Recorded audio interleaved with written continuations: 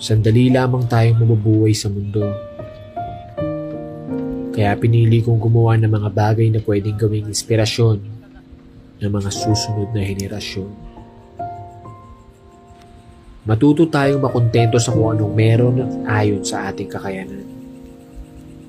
Umangat man ang estado natin sa buhay, manatili pa rin tayong nakatapak sa lupa dahil walang makakapagsabi kung habang buhay ka ba andyan. Hindi kailangan na kung anong meron sila, meron ka rin. Pakiramdaman mo ang puso mo kung ano ba talaga ang kanyang nais. At saka mo pag-isipan kung tama ba ang kanyang gusto. Kung oo, sundin mo. Tahakin mo ang landas na gusto ng puso mo, hindi yung kung anong nakikita ng mga mata mo sa ibang tao. Magkakaiba ang hangarin ng bawat isa kaya kung ano yung sa'yo, panghawakan mo. Huwag kang magpapa-apekto sa sasabihin ng iba. Karamihan kasi umiikot na lang ang buhay sa nakasanayan nila.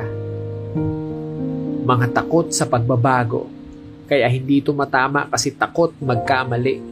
Puno ng duda sa sarili kaya kung ano yung ginagawa ng karamihan, yun na lang din ang ginagawa nila.